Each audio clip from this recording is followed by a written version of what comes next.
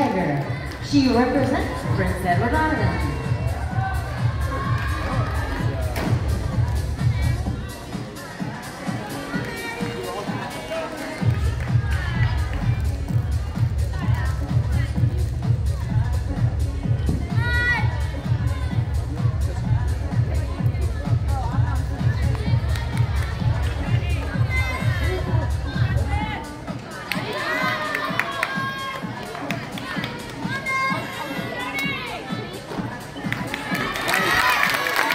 Good job.